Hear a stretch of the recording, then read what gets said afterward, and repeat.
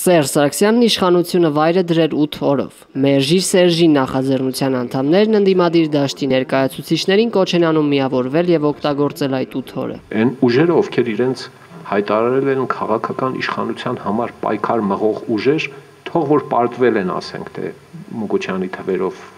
ազգային ժողովի եւ այլև այլ ընտրություններում, բրծել է ձեր քաղաքական նկրտումը այլևս հավես չունեք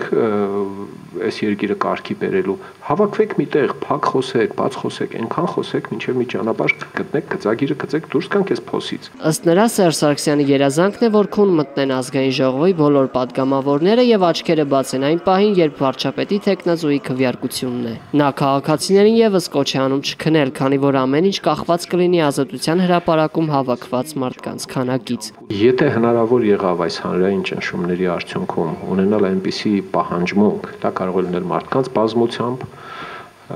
նախ եւ առաջ եւ նաեւ ուրիշ գործիքներով, որ падգամավորների կեսից ավելին կարողանա դիրքորոշում փոխել, ինչը կհանգեցնի նախ Սերժ Սարգսյանի եւ նրա մերձավոր շրջապատի փեսայի կամ ինչ-որ մեկի տեխնատության առաջ խաղացումը մերժել,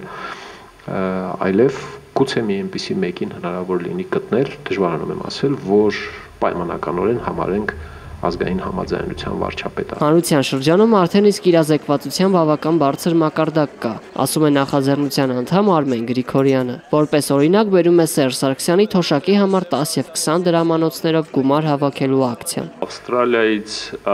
Ֆինլանդիայից, Շվեդիայից, տարբեր երկրներից միանում են հանգանակությանը եւ փորձում են ինչ որ ձևով օգնել։ Ժուրնալիստների ասպարեզ ակումբի նախագահ Լևոն Բարսեղյանի կարծիքով էլ տարօրինակ են այն հայտարարությունները, որոնց համաձայն Սերժ Սարգսյանի վարչապետ լինել չլինելու հարցը որոշվել է դեռ խորհրդարանական ընտրությունների ժամանակ։ Խոսում, խոսում, խոսում են, եթե ընդհանուր հայտարարի բերեմ, կստացվի այսպես. ինչ ուզենք կանենք։